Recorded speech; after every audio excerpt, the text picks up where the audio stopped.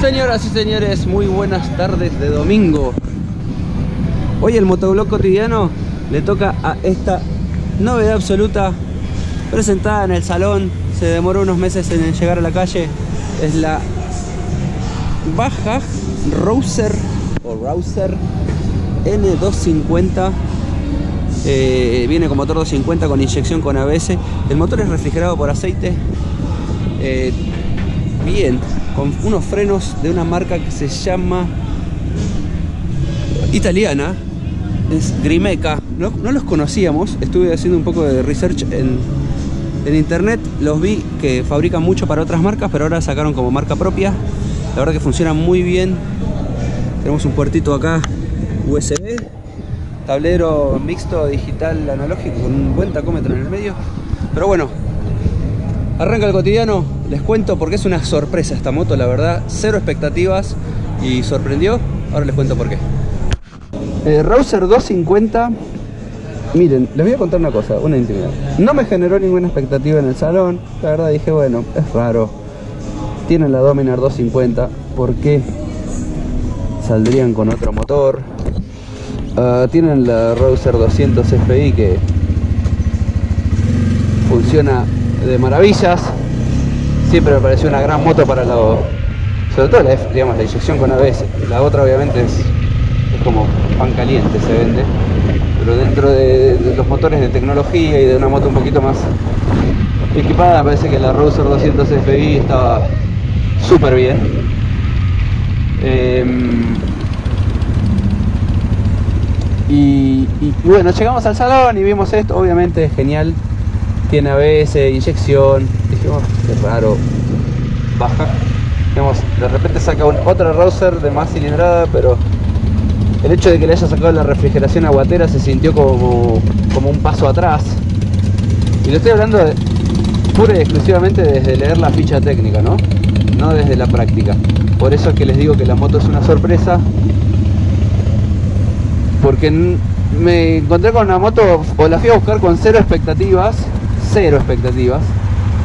Y, bueno, nada, me encontré con una moto que, lo dije en una historia en Instagram, eh, creo que Bajaj tiene una moto ganadora. Esta particularmente eh, es como la unidad, es el, caso cero, digamos, del coronavirus. Esta es la unidad 1 que usaron para homologar, la desarmaron, la armaron mil veces, por ahí tiene algunos detallecitos eh, de tanto arme y desarme. Que el caseta, el caseta no quiere arrancar, se quedó sin nafta. Oh, ahí está, ahí arranca. Y. ¿Sí? Bueno, si doblan es porque en teoría el semáforo está.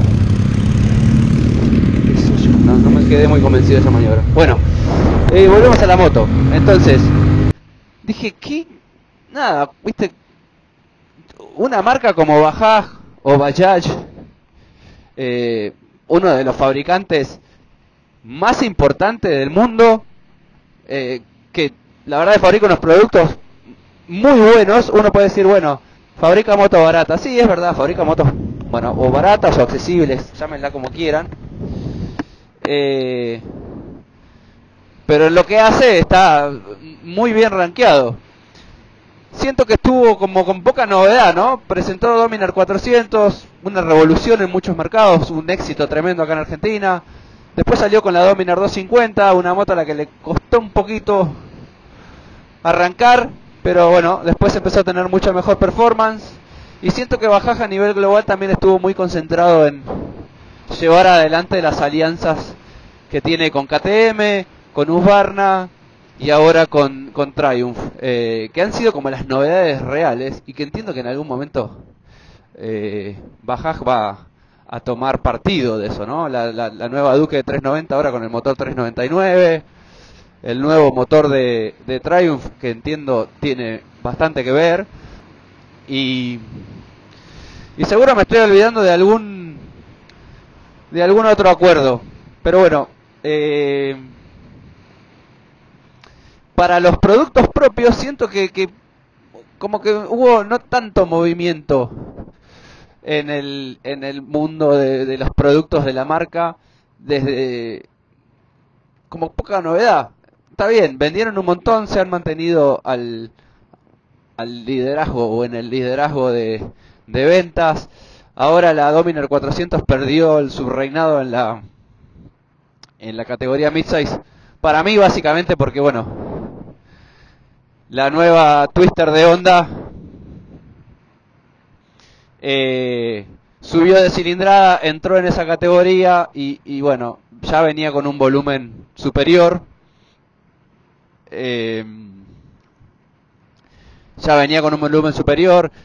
Es una moto que se acaba de lanzar. Muchas veces los lanzamientos también tienen un empuje distinto. Eh, que, el, que el real, no sabemos si las 600 unidades o 650 o 500 unidades que vende la Twister eh, 300 o CB300F Twister eh, son las reales, si van a ser más o si cuando ya pase, digamos, deje de ser una novedad para el mercado y haya como, bueno, se hayan calmado las aguas, haya bajado la espuma.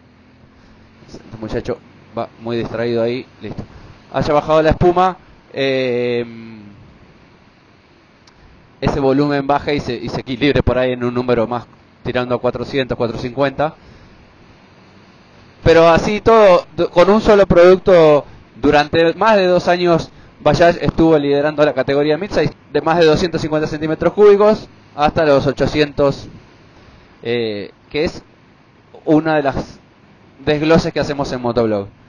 Así que de repente fui a buscar esta moto, con cero expectativa les digo, y el primer tramo de manejo de esta moto fueron unos 50, 60, 70 kilómetros desde la reja donde fuimos a buscarla hasta el centro de Buenos Aires, que es donde vivimos y trabajamos. Y de repente me fui como sorprendiendo. Eh, arranqué por el acceso este, medio. Nada, Max, Max iba conmigo en el auto que me llevó para buscarla. Eh, entonces iba más pendiente de lo que hacía él para ir juntos. Entramos en el buen aire. Por ahí hubo una o dos curvitas. Tuve que frenar, tuve que acelerar, tuve que empecé a tirar algún rebaje y dije y como que empecé a descubrir la moto. Y después ya nos separamos y yo me fui para mi casa, él se fue para la suya. Ya fui mucho más concentrado en lo que era la moto y cuando llegué a casa le mandé un mensaje y le dije, tenés que probar esta moto porque te va a encantar. Y, y en la práctica me parece que no es un no es un producto que, que para nada retrocede, digamos, eh, entiendo, empecé a entender la, la, la, diferencia entre esta y la Dominar 250, porque dije, che, ¿qué van a hacer con dos 250? ¿Cómo, cómo lo van a, cuál va a ser la estrategia en cuanto a precios? Eh, ¿Cuál va a ser la estrategia de, en cuanto a comunicación de la moto una respecto de la otra? ¿Qué sé yo? Tampoco es que es, en los papeles eran tan diferentes. Pero la Dominar para mí en su momento, la Dominar 250 era la ganadora porque bueno, nada, el motor refrigerado por agua, por ahí un poquito una moto de mayores dimensiones, más pensada, viste, bueno, Baja hace rato que está con que sus Dominar, tratando de, de enfocarlas como un producto Touring, de hecho tiene una versión Touring que viene con parabrisas y cubre puños y algunas cosas. Eh, entonces decía, ¿cómo, cómo, ¿cómo van a hacer con, con estos dos productos tan similares para que no se canibalicen? En fin. Y de repente te subís a esta moto, que miren lo que estoy haciendo, porque estoy yendo súper despacito, pero que es, tiene una ciclística súper ágil, que tiene un manillar angostito. No sé si la cámara le hace justicia, pero el manillar es, angostito. O sea, la moto parece una 125 en ese sentido. Es, digo, se mete por todos lados, es, es angostita, es muy ágil, tiene una posición de manejo agradable, pero tirando a agresiva. Eh, yo mido 1,93, voy muy cómodo en esta moto, no sé cuánto cuán cómodo iría para salir a viajar, pero en la ciudad donde uno se mueve, descansa, frena en un semáforo, baja la pata, dobla para un lado y para el otro, eh, me parece que no va a ser un problema, el asiento es muy cómodo, la moto frena muy bien, la moto dobla muy bien, eh, nada, como, era de esperarse, los neumáticos son MRF, Rev Zapper, no, nunca me acuerdo los nombres. Eh, que la verdad que siempre ha habido mucho prejuicio alrededor de ese, de ese neumático, de esa marca. En la práctica no hemos tenido problema y, y de hecho los hemos usado eh, en autódromo o en cartódromo y, y, algunas veces los hemos exigido en otras motos de otras marcas y en esta también. Y decís, che, ¿por qué tanto prejuicio? Si la moto frena bien, dobla bien, se, tiene buen grip, el neumático se desgasta parejo. Eh, bueno, qué sé yo, sí, obviamente todo el mundo querría ponerle Michelin, Continental, Pirelli, Metzeler. Me parece que es un buen neumático para la moto que estás comprando, el nivel de precio de moto que estás comprando y el origen de la moto eh, que estás comprando. ¿Qué le falta a esta moto para, para ser mucho mejor de lo, de lo ya muy buena que es? Para mí, caja de sexta, pero una, una sexta por encima de la quinta que tiene, no una, una caja de sexta reconfigurada para hacer las relaciones más cortas. O sea, esta moto tira perfectamente la quinta y te da una velocidad máxima de 150 km por hora al corte y perfectamente podría tirar una sexta un poquito más larga que, o que te dé más velocidad, que no es necesario, pero sí que te permita viajar a 120, 130 a menos RPM, porque la verdad que tira muy bien la transmisión que tiene y se nota que tiene más, o sea, hay, hay buen torque, hay buena potencia y en ese sentido me parece que es mucho mejor que la que la que la Roadster 200 FI. Después el hecho de que el motor sea refrigerado por aceite nada, es, es una condición, digamos, se refrigera así porque tiene no tiene tanta potencia ni tantas RPM como sí es el caso del 250 de la Dominar, entonces tampoco necesita una refrigeración tan, tan agresiva. Y, y además es una mecánica más sencilla, todo eso eh, simplifica cosas, hace más liviano el motor, o, la moto en realidad. Eh, eh, daríamos ante una moto a la que no le falta nada, tiene buena ciclística, tiene buenos frenos, la suspensión está muy bien puesta a punto en términos de equilibrio para la ciudad y, un manejo hasta un poquito deportivo, les diría, porque así es un poco como la estuve manejando estos días. Tiene una iluminación full LED, con giros de LED, con DRLs de LED, con y con una óptica delantera que ilumina muy bien, comprobada en el estacionamiento de, mi casa, que es un poco el, parámetro que tengo para ver el color de la luz y la altura y alcance. Como que ya las tengo medias medidas ahí, desde la puerta donde abre el portón hasta la pared donde, donde ilumina. Y ya podés comparar con otras motos. De hecho, Bajaj tenía un estándar muy alto de iluminación en Dominar 400 y, y 250. Así que si bien esta tiene otro grupo óptico, eh, me parece que está muy bien. Eh, tablero completo, no tiene mucho más de lo que tiene que tener, ni mucho menos de lo que tiene que tener. Es un tacómetro muy lindo, central, que está, siempre es lindo tener tacómetro en la moto. Eh, y después hay un display digital que tiene la marcha engranada, la velocidad con unos números grandes en formato número digital. Después tenés trip A, trip B y el odómetro total. Tenés consumo promedio, a ver si se los puedo mostrar. Acá está en 24 kilómetros por litro. El, el trip 1 y algunas cosas más. Bueno, tenés la hora, el nivel de el nivel de combustible que acabo de llenar el tanque con B-Power en la Shell, a la ida, no ahora. Y después luces testigo de presión de aceite, el famoso check engine, la luz alta, eh, los giros, la moto no tiene balizas, es algo que también a criticar porque todas las motos deberían tener balizas.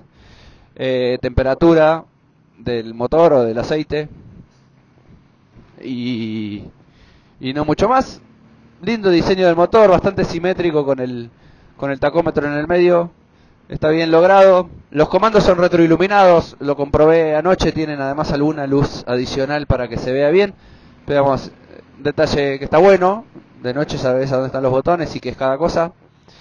Los espejos, otro punto a criticar, están muy bajitos, son demasiado angostos, perdón, demasiado alargados y poco altos. Entonces, como todo, es cuestión de acostumbrarse, pero mm, nada, entiendo también que quieren ir en línea con el diseño de la moto, pero podrían ser eh, un poquito más efectivos o eficientes para dar la visión hacia atrás. Como siempre digo, algunas cosas vienen a un costo, ¿no? El hecho de que tenga estos espejos también contribuyen a que la moto acá sea compacta eh, y, con el manillar angosto. Bueno, acá se ve que ilumina bien la moto. Y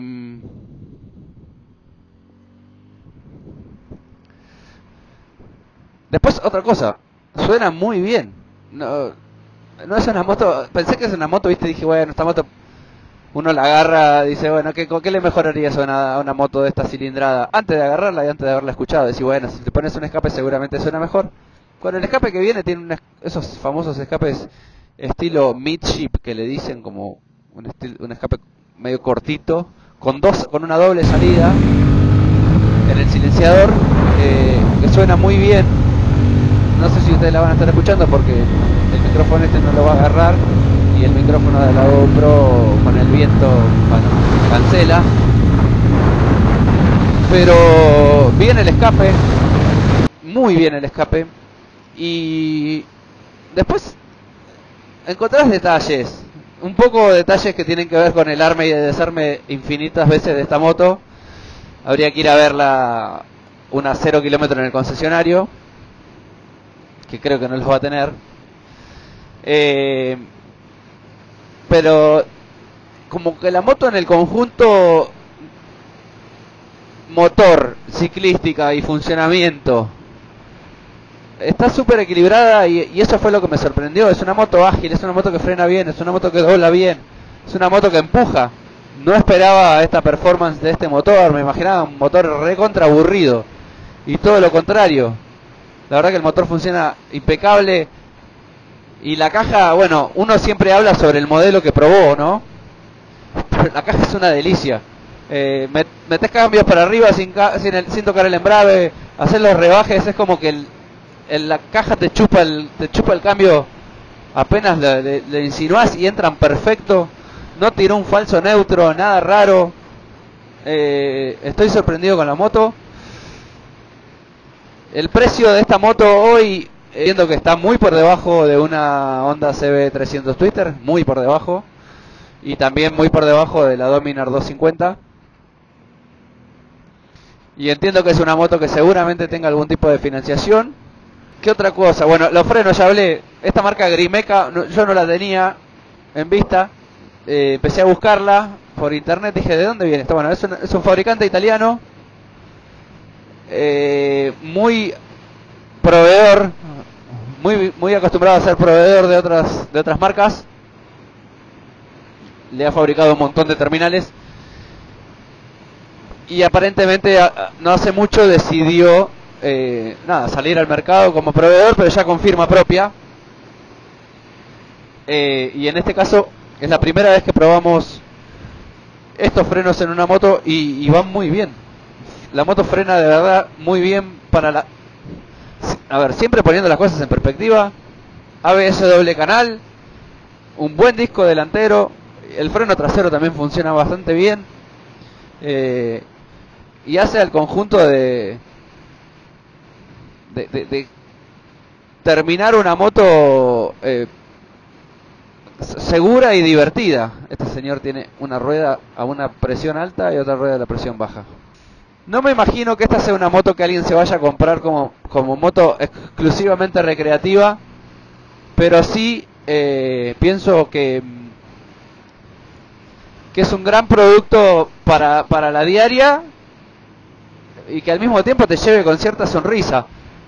Eh, digamos, la moto no deja de ser un medio de transporte nunca, pero si ese medio de transporte también te genera cierta relación y cierta gana de manejar de determinada forma, como que estás, no sé, no solo estás andando sobre la moto, sino que la estás manejando, o, tenés ganas de manejarla. Eh, cambia un poco el panorama, ¿no? Gran sorpresa esta N250 por la cual no daba mucho, o sea, no dudaba que iba a ser un producto bueno, porque Baja se ha ganado ya su lugar en el mercado. Es una marca que vende mucho, es una marca con buena reventa, es una marca con buena representación, con muchos concesionarios alrededor del país, con muchas motos en la calle, con una mecánica que la gente ya va conociendo, siempre con... Este motor tiene dos bujías, ya todos sabemos de qué se trata. Pero bueno, el hecho de que una moto te, te pide determinada confiabilidad o presuma tener determinada confiabilidad no significa que sea una moto que te vaya a generar interés. Y haberme subido a esta moto, haberme sentido tan cómodo, haber comprobado que funciona tan bien, haber entendido que más allá de que en los papeles era todo muy muy muy difícil de diferenciar, eh, si tuviese que comprarme una moto para todos los días y mis opciones fuesen Dominar 250 o Rouser N250, ni lo pido, ni lo pienso. Voy por esta derecho porque es, es más liviana, es más compacta, es más ágil eh, y un montón de... Bueno, suena lindo. Eh, no, le, no me gastaría un mango de ponerle un escape a una moto de esta cilindrada porque es solo para hacer quilombo, digamos. Que, ¿Cuántas más prestaciones le vas a sacar? Medio caballo, en fin pero tiene el, agregado como bonus que, suena bien. Eh, suena deportivo, suena gorda, a pesar de ser un 250 monocilíndrico, no sé si, si se entiende. Eh, ah, mira, la bomba de freno también es Grimeca, o sea, no solamente la pinza, sino todo el sistema está por este proveedor. Los espejos, ya lo dije, si fuese mi moto se los vuelo y les pongo uno, no sé, por ahí no, no, redondos, pero un equilibrio, algo intermedio para ver mejor para atrás. No me gusta la visión para atrás. No digo que, que no vea, pero tengo que hacer movimientos y, y posturas que por ahí, ojo, también tiene que ver mi altura. Por ahí alguien de, menor altura los encuentre súper eh, aptos. Tiene un DRL que se ve perfecto. Lo estoy viendo en el paragolpe de ese Corolla en este momento.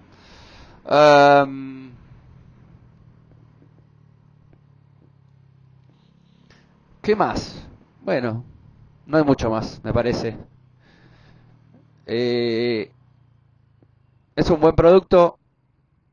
De nuevo, los que estén buscando motos de este tipo de segmentos 250, medio naked, medio street, medio moto para todos los días, pero que quieren un poquito más de adrenalina, un poquito más de, de actitud a la hora de manejarla. A ver si escucha el escape. Suena. Una moto que la puedes sacar equilibrada del lomo de burro, si se entiende lo que quiero decir. Se la puedes sacar como la, con la rueda de adelante en el aire para que caiga perfecto. Y lo hace en segunda sin hacer mucha locura. Um,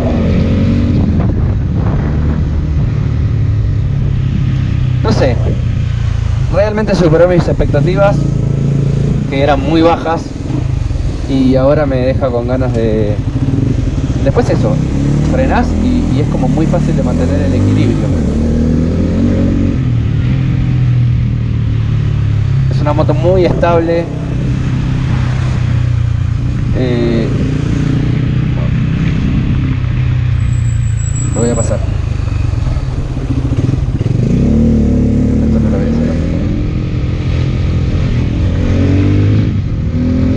una moto muy estable, es una moto bastante atlética. El acelerador es muy blandito. Podría ser un poco más corto, ¿no? Es la relación del acelerador. Me gustaría que más, de, más tipo tirando a competición, ¿no? no tanta vuelta, sino que acelere más en menos recorrido. Pero bueno, es algo que tampoco no es, no es imposible de lograr Eh, después está el tema de la estética de la moto. Bueno, esta unidad está con un porte equipaje. No me quedó bien claro si... Qué lindo M. ¿Que es un M4? Sí. Eh, no me quedó en claro si va a venir con las agarraderas como tenía la Rouser, las dos agarraderas individuales, o con este porte equipaje que vieron al inicio, o si el porte equipaje es parte de no sé, como del paquete de opcional o el setup que viene y te lo traen y este está puesto. Eh, quizás con el con las agarraderas tipo... Bueno, ahí hay otro, pero ese es otro rouser con porta equipaje. Con las agarraderas más individuales, por ahí el remate del colín queda mucho mejor. Va a perder en practicidad porque la verdad que venga con el porta equipaje ese, bueno, te permite poner cosas. Yo no le pondría un top box porque, bueno, todavía me queda algo de dignidad. Eh, y, me parece que para eso te compras un scooter. Es, feo el top box en la moto, muchachos. Sé que es práctico, pero es horrible. Eh, y más en una de estas que le ponen, terminas poniendo esos plásticos horribles, tipo medio huevito. Así que, pero bueno, es práctico el porta equipaje para atarle cosas. Prefiero una mochila atada con elástico que el huevito. Está bien, podés decirme ponerle casco, llevas cosas, te la, te la tomo, pero no sé, todavía como que me cuesta, me costaría. Prefiero comprar un scooter y tener lugar de guardado bajo el asiento y no no subirme una moto y andar todo el día con ese bodoque atrás eh, que te dificulta subir y bajar. Que si no lo tenés lleno y agarras un pozo se sacude todo y adentro se te rompe todo. En fin, ya tú sabes. Así que llegamos al final de este cotidiano con la Rouser N250. Realmente una sorpresa. Eh, lo dije, apenas la, la, usé los primeros kilómetros. Uy, qué fiaca, ¿no? Pinchar. Eh, ah, bueno, pues ya tiene cambiada. Bien, pareciera. Lo dije al, inicio de los primeros kilómetros, es una sorpresa de parte de Bajaj. Creo que tiene un producto ganador. Eh, creo que es un paso adelante respecto de la Rouser 200, cualquiera de sus dos versiones. Obviamente la FI ABS está un poquito mejor que la otra, pero me parece que esta moto es más moto. Eh, me gusta como suena. Ya estoy súper repetitivo, pero pero es una moto completa y es una moto divertida y es una moto que anda y que frena y que dobla y que suena y que es cómoda de manejar y que te, te genera ese poco de, de actitud de decir, voy a manejar la moto, voy a salir a andar en moto, no voy a ser simplemente un testigo de un bicho que va con dos ruedas del punto A al punto B sin ningún tipo de espíritu. Que también las hay esas motos y son súper válidas. Pues te subís a una 150 Street eh, que todos los días eh, son lo mismo y bueno, está bien optaste por subirte algo que te, agiliza la vida, que te lleva más rápido que un auto, que más barato. Pero esto es, eh, esto ya es una moto, una moto que, que te dan ganas de agarrar hasta esa esquina, ¿entendés? Y bueno, habiendo llegado a las casas, miren, ahí está, le quería mostrar esto, ¿ves? No es joda la iluminación. Es, eh, tenés la luz alta acá, tenés eh, una moto interesante, la Rouser N250. Buenas, que hemos probado, en, vamos, que estamos probando en realidad. Caja de quinta, ya lo dije, ABS doble canal, motor refrigerado por aceite, tiene un radiadorcito de aceite en la parte alta. Eh, y que acaba de llegar al país y que me parece que es, por lo menos, para que muchos la tengan en cuenta. Nos vemos en la próxima. Este fue el Motoblog cotidiano del día de hoy.